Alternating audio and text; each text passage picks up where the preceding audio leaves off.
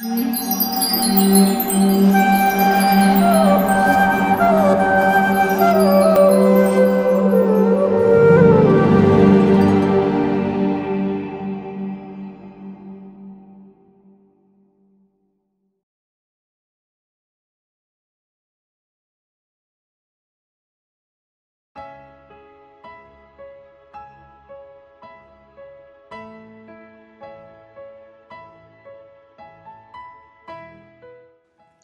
Krishna. Welcome back to the Demystifying Reincarnation series. Suppose there is something which is the fundamental reality, which is the reality that enables us to experience all other reality. And suppose we have a tool for explaining reality, a very powerful tool for explaining reality, but this tool has no explanation for the reality that underlies all other reality. How would that situation be reconciled? The reality which underlies all other reality is our consciousness. It is because we are conscious that we are able to perceive things and understand whether they are real or unreal. And the most powerful tool we use for understanding reality today is, according to mainstream opinion, modern science. And modern science, despite its dazzling achievements, has very little understanding of consciousness. It is science one of the greatest mysteries. So, in the Scientific American, uh, December 1995 issue, David J. Chalmers, Chalmers writes an essay, The Puzzle, Puzzle of Conscious Experience Conscious experience is at once the most familiar thing in the world and the most mysterious. There is nothing we know about more directly than consciousness, but it is extraordinarily hard to reconcile it with everything else we know. So, now what exactly is consciousness? Before we get into technicalities, let's uh, look at it from an intuitive perspective. We all know that we are conscious, that's, that's our intuition. So, an intuition also plays a vital role in science. This is acknowledged by an authority uh, as great as Albert Einstein. He states, The intuitive mind is a sacred gift, and the rational mind is a faithful servant. This means that intuition is something which comes from above, and rationality is something which we direct. So, it's a sacred gift, it's something which intuition actually is what guides most scientific research. And our rational mind is what goes along. What we make it, okay, think this way, go this way, we direct it. So now let's look at our intuition and let's apply it to the issue of consciousness. Now we'll consider five intuitive meditations to understand consciousness. At a very simple level, consciousness refers to our sense of self awareness and world awareness. There is a I-ness. There is a I, there is a self who is aware of oneself and things around oneself. So that is at a basic level consciousness. So now we could uh, begin by asking who is it that perceives? Now, is it the eyes that perceive? Say, I am looking at you. Is it the eyes that are perceiving? But the eyes are actually present even in the dead body. Is it the ear that is hearing? The ear is also present in a dead body and here the dead body can't see or hear, then is it the brain? Brain that perceives? But later we will discuss whether the brain is the source of consciousness, what is the problem with such theories. But right now, you can again take the same logic that the brain also has is also present in a dead body and yet it is not able to perceive now we may say that oh, but you know, in the eyes, in the brain, there are chemicals, and the chemicals have to be functioning in a particular way. And when they are functioning in a perfect way, well coordinated way, then that is when we are able to see. But that raises the question then is our sense of I-ness a product of certain chemicals, the presence of certain chemicals, or the, or the presence of the combination of certain chemicals? Now we know that our body largely the, the, the substance that is present most in the body is water. Now, so much water throughout our life, so much water comes into our body and so much water goes out of our body. Now, do we feel watery? Do we feel that I'm a watery person? No, we don't. So, if we were asked, are we just a bag of chemicals? Our intuitive answer would be no. Yes, chemicals may be there in the body. You know, most life is made of organic chemicals. it's carbon. Now, do we feel ourselves as carbony, as carbonaceous? No, we don't. Sulfur, if we consider the chemicals that comprise the body, the sulfur, there's potassium, there is uh, carbon dioxide, there is oxygen. There are various such substances that are there. Are they what we are? Are they the essential stuff of our identity? Are they the source of our emotions? Be they individually or combined? No, these, these, these are just essential chemicals. And not just the, uh, we'll discuss about the consciousness further, but those chemicals, those elements have certain properties which we don't identify with ourselves. And we have certain properties which we don't identify with those chemicals. We have consciousness emotions which you don't identify with them. They have wateriness or, uh, or uh, car, car, you could use the word carboniness, carbonousness, which uh, sulfurousness, whatever it is. We don't identify those with us.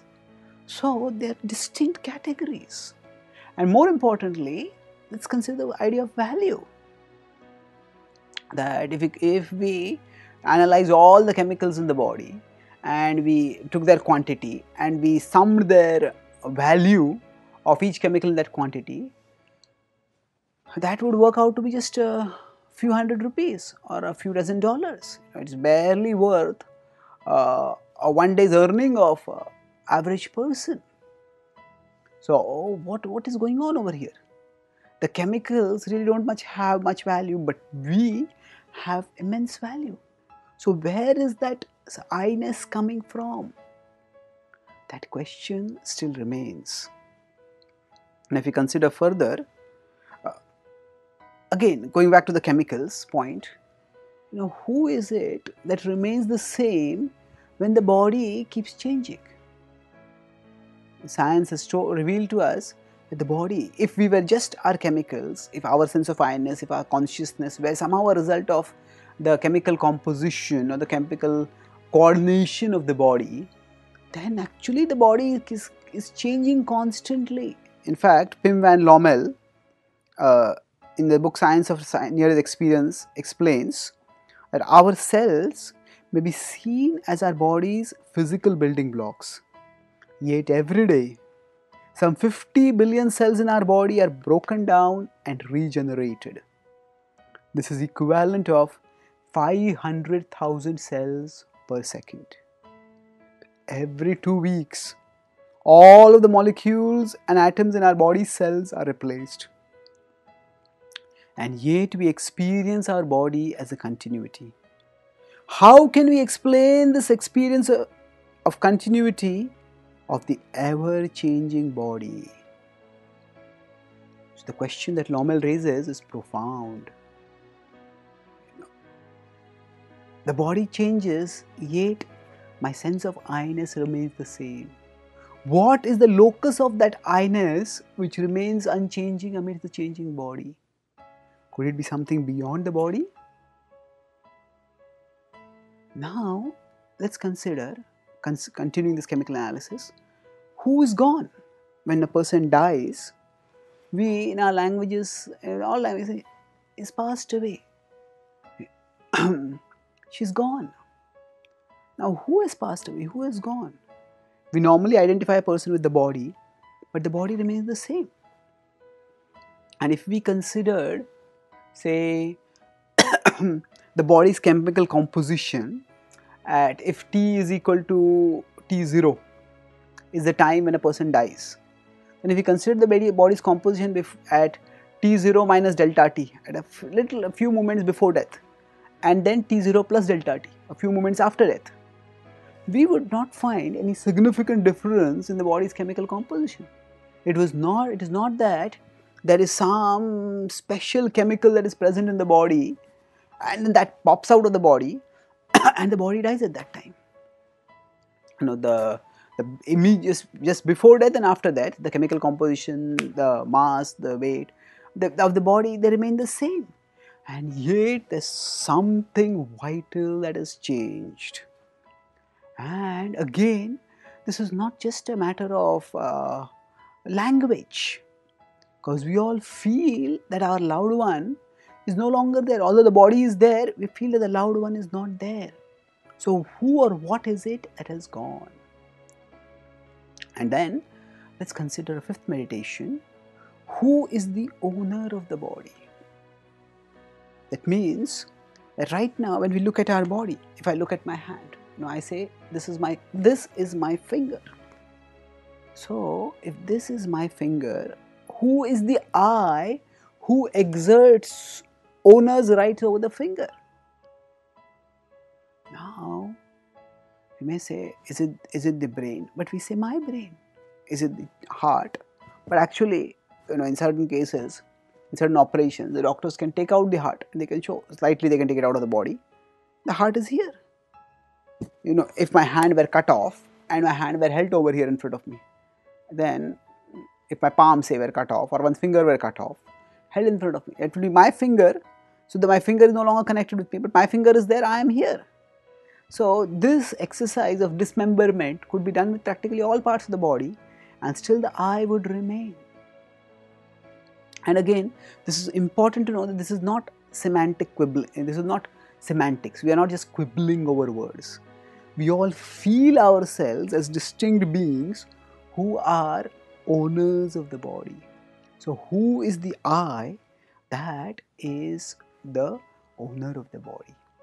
That is a question that intuitively makes us feel that there is something more to us than our body, that we are more than our chemicals. The unchanging I is different from the changing body. When, uh, when we meet a relative after many months, many years, many years, say, and we may say if a small boy has grown hey you have grown up so much. What do we mean you has remained the same but i have grown up? Something is changing but something is unchanging. We include that. So we understand that there's a unchanging locus to the changes that we see in people. What is that unchanging locus now moving forwards this is after this intuitive analysis now let's go towards a little more scientific analysis uh, this as the scientific opinion, at least the mainstream scientific opinion today, is materialistic. That is, matter is the source of consciousness, and especially the matter in the brain is the source of consciousness. So, physicist Nick Herbert in Quantum Reality, in his book Quantum Reality Beyond the New Physics, states that science's biggest mystery is the nature of consciousness. It is not that we possess bad or imperfect theories of human awareness. We simply have no such theories at all. About all we know about consciousness is that it has something to do with the head rather than the foot. So, it is something to do with the head rather than the foot. Today, a science mainstream approach is materialism. That means the mainstream scientific community sees uh, the whole of world, the whole nature as an interaction of material objects. Say fundamental particles moving according to impersonal laws uh, that apply, that uh, they hold apply all over the universe. And extending this paradigm to consciousness, they feel consciousness can also be explained in terms of material laws applied to the uh, brain chemicals. And yet, there are many eminent scientists, including Nobel laureates, who are questioning such materialistic explanation of consciousness. Among such scientists are the Nobel laureate neuroscientists such as John Eccles, Wilder Penfield, and Charles Sherrington. They are urging a comp- they are saying that a complete explanation of consciousness requires that we be open for non-material explanations. And this was decades ago. This openness to non-material, the non-material, was exhibited by another Nobel laureate, Albert Szent-Györgyi, who wrote in Biology Today. In my search for life, I ended up with atoms and electrons, which have no life at all. And somewhere along the line, life has run out through my fingers. So, in my old age, I am re- now retracing my, my steps. So, what are the problems with the materialistic theory of consciousness? When eminent scientists are, are seeking its reconsideration, what is it that is prompting its reconsideration? There are many things, but let's consider three of them. We'll discuss three questions. How can brain cells, which are themselves unconscious, produce consciousness? Second is how do our brain cell, how do our memories stay intact despite the constant regeneration of our brain cells? And how can consciousness change the structure of the brain as observed in neuroplasticity? So, the first is the most fundamental. How can unconscious brain cells produce consciousness?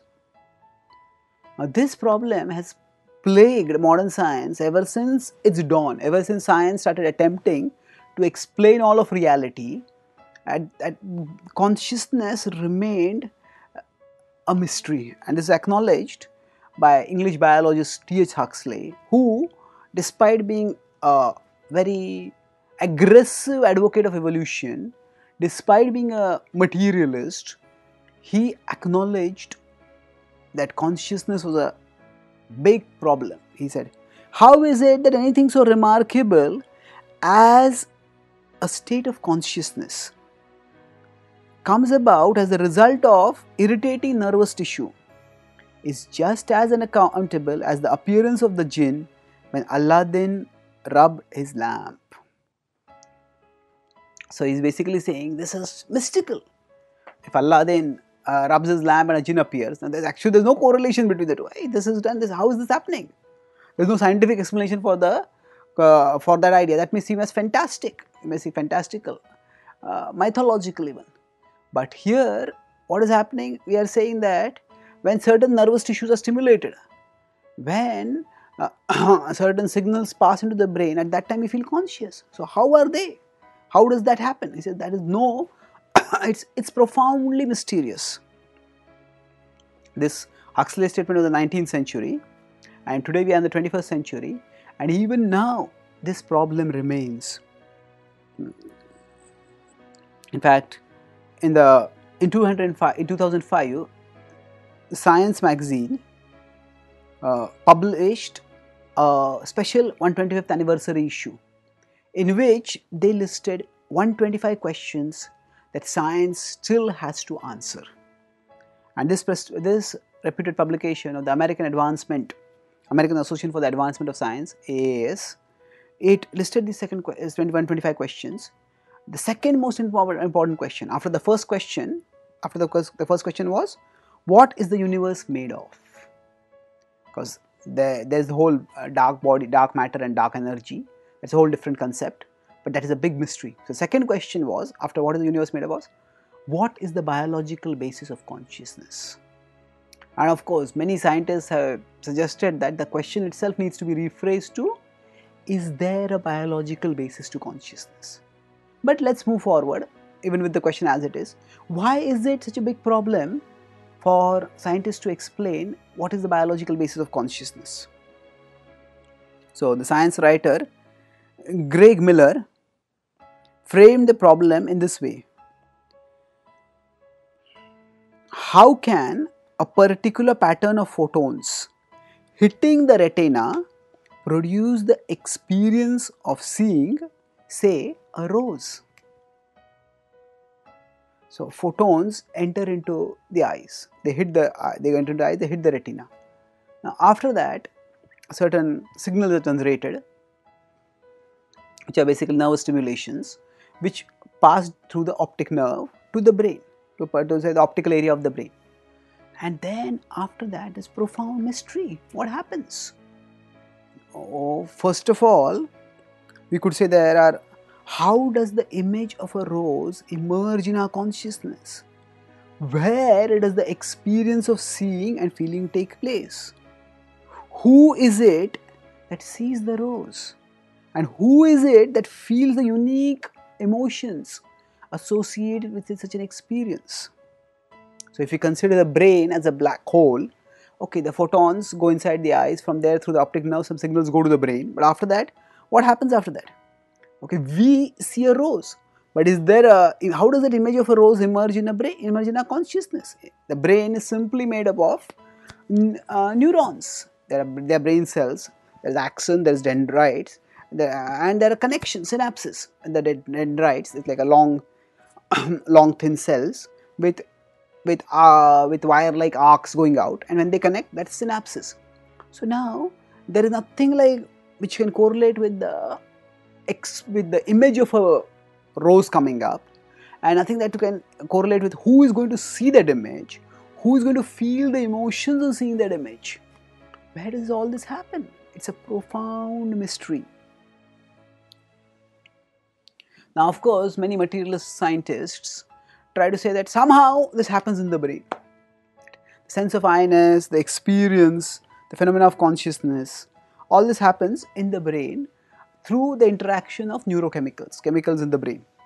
But then there are other researchers who have pointed out that the activities of brain cells and our conscious experience of emotions are two very distinct things. Consider this the statement in the Journal of Consciousness Studies by astrophysicist Piet Hut and philosophy professor Bas van Fraassen, both from Princeton University. If I have ever seen an incompatible pair of concepts, it's a configuration of molecules and a conscious experience. Life emerging out of lots of molecules. Consciousness emerging out of lots of nerve cells. Well, why not consider time as emerging out of clocks? Without clocks, no accurate time measurement, and without a good clock, and a good clock pro- provides excellent correlations with the flow of time. But time surely does not emerge out of a clock. As this time and clock example is striking because we we will will we know well what the time is by the way the clock hands move so there is definitely a correlation. But time is not emerging from the clock.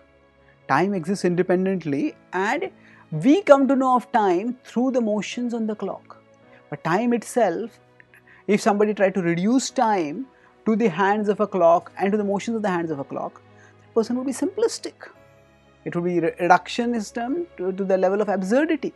Time is distinct. Similarly, consciousness itself is distinct from the body from the brain. Colin McGinn, a philosophy professor from the University of Miami, again states the problem. The brain processes held to constitute conscious experience consist of physical events that can exist in the absence of consciousness. Electricity in the brain correlates with mental activity, but electricity in your TV presumably does not.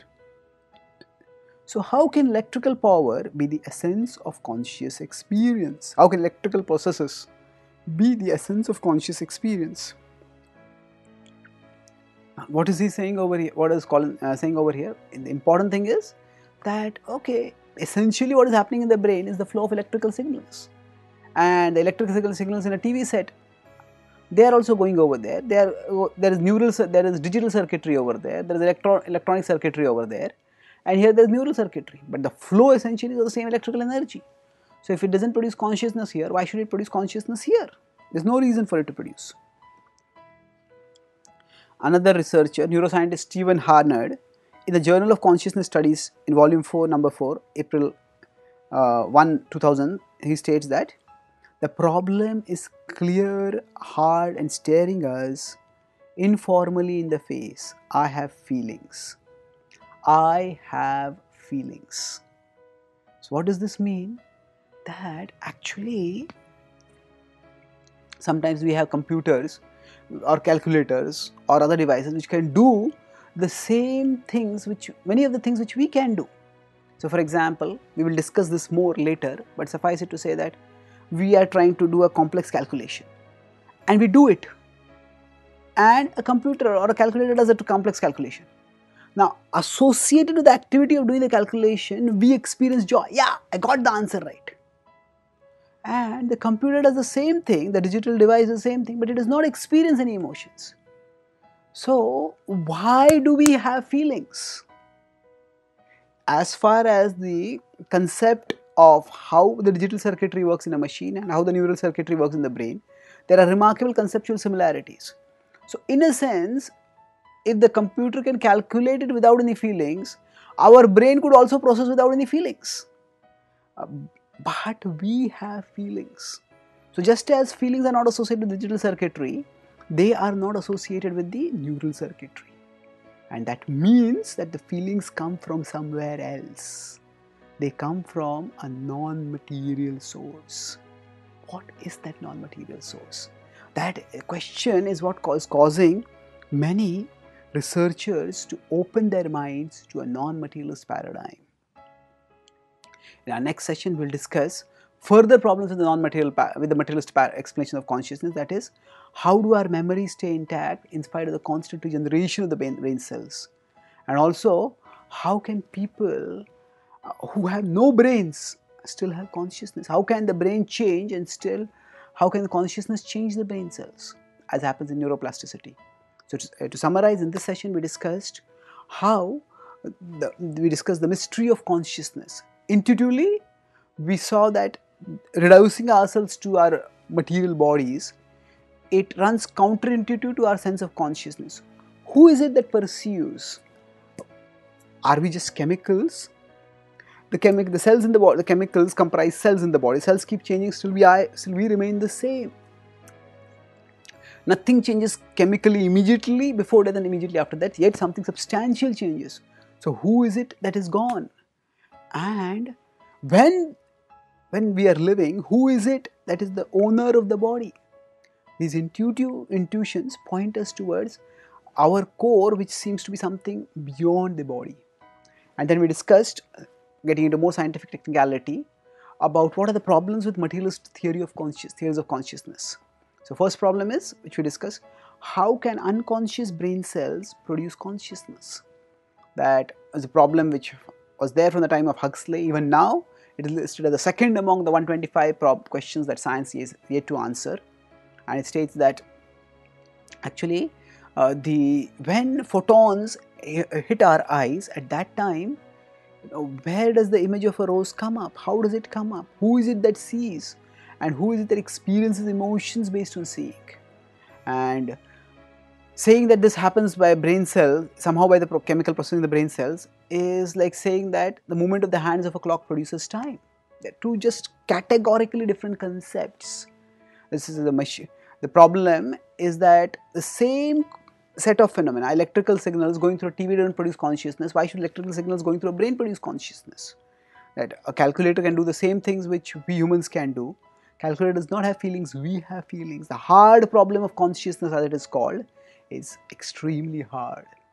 And that is making people look towards, making even top researchers look towards non materialist explanations for consciousness. We'll discuss this more in our next session. Thank you. Hare Krishna.